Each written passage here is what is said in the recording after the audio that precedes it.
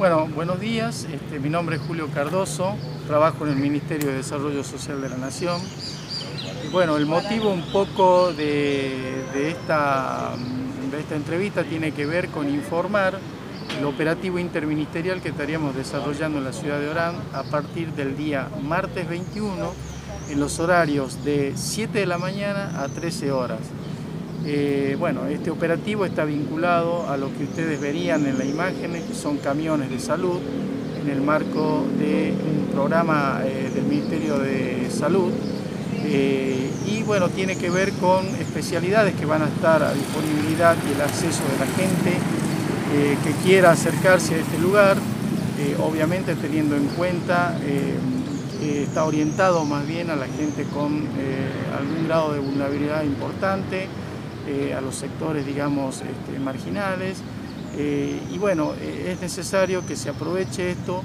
Tendríamos especialidades como la de pediatría, obstetricia, ginecología, clínica médica, diagnóstico por imágenes, odontología. Y también habría otros programas como el de Cedronar, que estarían instalados acá en la Plaza Pizarro, PAM y ANSES, con lo cual, digamos, se puede hacer diversas consultas que la sociedad considere necesarias.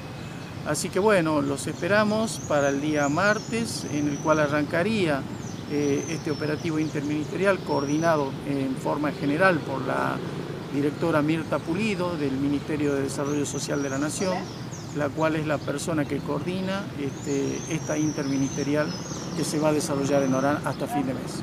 A ver, hablemos de los horarios a partir del día martes.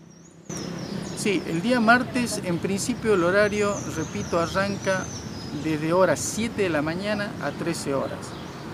Acá podemos aclarar de que eh, de acuerdo al flujo y la demanda que haya, se puede ir este, teniendo lecturas sobre esta cuestión e ir acomodando estos horarios y flexibilizándolos.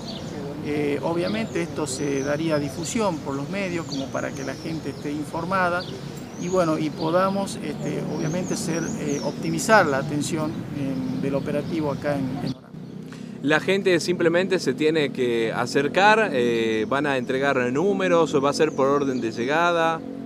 No, la gente tiene que acercarse, eh, obviamente va a haber una organización ya establecida que va a permitir ordenar todas estas cuestiones.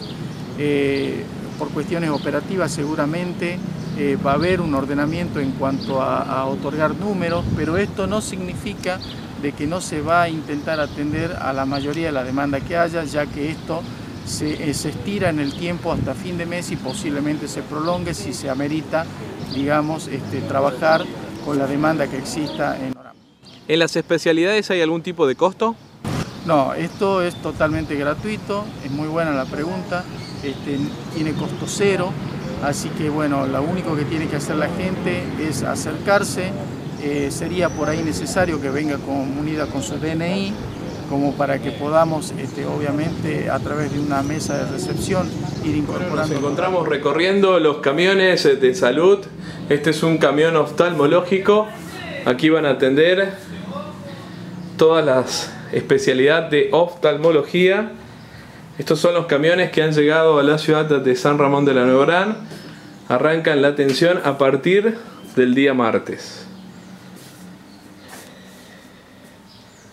Como se pueden ver, son camiones muy equipados, con todos los servicios.